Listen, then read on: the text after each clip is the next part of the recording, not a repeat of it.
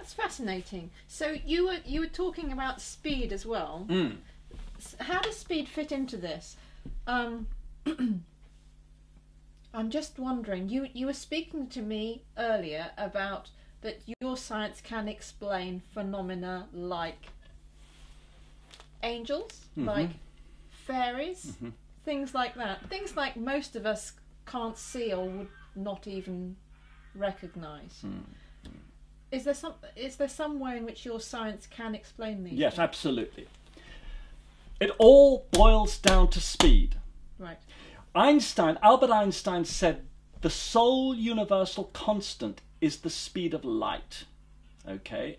Well, it's the speed of energy, actually. Right. The sole universe, the most important constant in the universe, is the speed of the energy. And that makes sense because there's nothing else there. There's particles of energy are just particles of speed. They're either particles of speed waggling or particles of speed spinning. Okay. Okay. So everything in our world is relative to the speed of light, space, mass, and time. This is relativity because everything in our world is created out of bits of speed of light. In other words, when I measure the speed of those little bits of energy that make up our world through spinning or undulating, it's always the speed of light. Okay. Okay. Now, what I'm predicting, and this is prediction, is that there are other worlds based upon speeds faster than the speed of light. Now, b- before I say that, I have to establish my credibility. It's a huge step that I'm, I'm about to take. Okay. So, first of all, I have to tell you this that as I developed my cosmology out of the physics, I was able to predict that the further the galaxies are away from us, the faster they're accelerating from us. In, in 1995, the College of Psychic Studies in London published a book on my work called The New Science of the Spirit. And in that book, I had three pages of predictions. And embedded in those three pages of predictions was a sentence in which I explained from my cosmology that the further galaxies are away from us, the faster they accelerate from us. Okay. Okay. In 1998, the results of observations of supernova explosions in distant galaxies was published. And what they discovered through those observations is that the further the galaxies are away from us, the faster they are accelerating from us. So that kind of indicated your own work. Well, yes. What that the whole thing in science is you've got a thing called the scientific method. A theory is only a good theory if it can satisfy two t- criteria. Now, I'm quoting um, Stephen Hawkins from The Brief History of Time. Yeah. A theory is a good theory if it satisfies two criteria. It must explain the most things with the minimum assumptions, and it must predict the outcome of future observations or experiments. Now, in my physics, I can explain the whole body of classical and modern physics over a hundred experiments with a single assumption that subatomic particles are vortices of energy. Mm. Okay? And also, I predicted the accelerating expansion of the universe.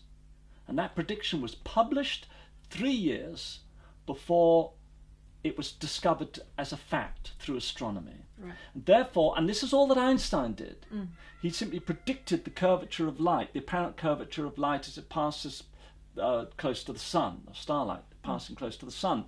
And so it's a comparable achievement. And so what I'm saying in, to you in this vortex theory is not a hypothesis. It's a full blown scientific theory that is actually stronger than the- string theory because string theory hasn't succeeded in predicting the outcome of a future experiment, whereas my vortex theory has. So this gives me credibility as a scientist. Mm. If I have a proven theory rather than just a vague Mickey Mouse theory, mm. then I'm a force to be reckoned with. In other words, when I make my next prediction, mm. it it you know it's on solid ground. That's very exciting. Going back to the, I was talking about angels. I'm about to a go lot there. of people, Yeah. a lot of people are fascinated with angels. There, are, I don't know what the percentage is, but there is a very high percentage of people today who actually believe in angels, which is extraordinary. Mm. I'm interested to see what you say about that. Well, Not just angels, but I'm afraid the fairies as well. You know I'm a fairy man. I believe in the fairies. I don't think we should go down that avenue. I think as soon as people start well, talking no, about... I, it's rather fun, really. Uh, There's a, there's, a, there's a twinkle in the eye with this because I just love the idea of coming out with the physics of the fairies. So It you just- believe in fairies? I do believe in fairies. It's, it's Where's the there's- psychiatrist? There's, this is, this there's is the a way. mischievousness in this. I mean, there's a sense of fun. The thing about science and physics and that, it does take itself rather seriously.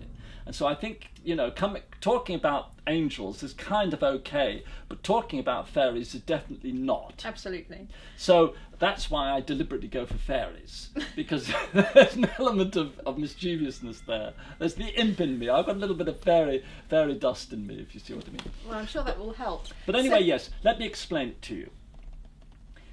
If our universe is formed out of particles of speed, and the world we live in is formed out of particles of the speed of light, mm. we could have other worlds or other planes or levels of reality based upon faster speeds.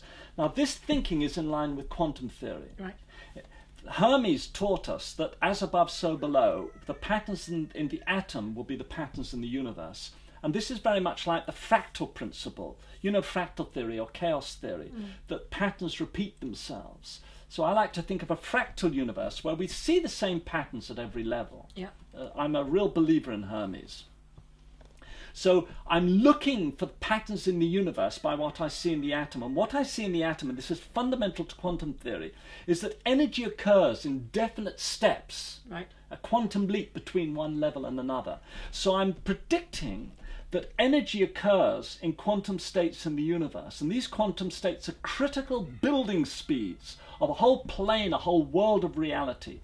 And our world happens to be built out of the speed of light, 186,000 miles per second, okay? So, there could be other worlds based upon twice the speed of light or three times the speed of light. So that's just a prediction, Okay. okay? Now, what I'm going to do is I'm going to start formulating laws around that prediction and then work with those laws. The first law, it, it, and it's very simple all speeds start at zero and go up to their maximum value. So all speeds are grounded at the same point. So naught to the speed of light, to twice the speed of light, to three times the speed of light is like concentric circles. Okay? Right. Or concentric spheres. Ah, now we begin to see the, that ancient pattern, the harmony of the spheres of Pythagoras, which again goes back to Hermes. Even the word planet is based on this idea of different levels and planes of, of reality, which is what Hermes was predicting, which is very much quantum thinking.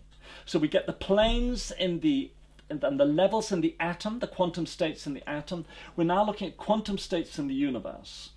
So they're concentric around the single point, So the single point is what? Um, zero speed. right. So naught to the speed of light, naught to twice the speed of light, naught to three times the speed of light. Okay, like they're concentric.